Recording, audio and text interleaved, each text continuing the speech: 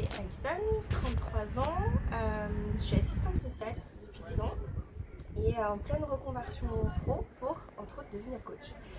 Euh, pourquoi je me suis inscrite? Parce que je pense que c'est hyper intéressant d'être euh, dans un groupe qui a les mêmes objectifs, c'est-à-dire de, de, réfléchir ensemble sur ce qu'on peut faire pour améliorer sa vie, son business, puisqu'on parle aussi d'argent, euh, et aussi, euh, voilà, simplement euh, pouvoir avoir une ouverture d'esprit plus large qu'on pourrait l'avoir au quotidien en restant chez soi et en regardant juste des, vidéos dans son coin. mon avis général sur la journée, c'est hyper positif. Je me suis levée ce matin en me disant un, peu stressée, un peu dans l'appréhension. Et en fait, au fur et à mesure de la journée, euh, il y a beaucoup d'émotions, beaucoup d'énergie beaucoup qui circule et, euh, et c'est une super belle journée. Je pense que ce qui est inoubliable, c'est la journée en elle-même. Je pense que je repars avec plein plein de choses.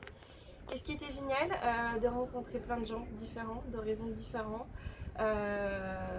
avec des projets différents et de pouvoir réfléchir tous ensemble à nos, à nos projets. Et voilà, je trouve que c'était hyper intéressant.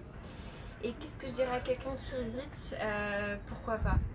Se dire pourquoi, se dire pourquoi pas, pourquoi pas moi, pourquoi pas y aller, euh, pourquoi pas oser. Je me suis posé la question, hein, pourquoi j'irais, qu'est-ce que je ferais, euh, est-ce que c'est vraiment pour moi? Puis en fait, finalement aujourd'hui, je suis contente de l'avoir fait. Donc allez-y.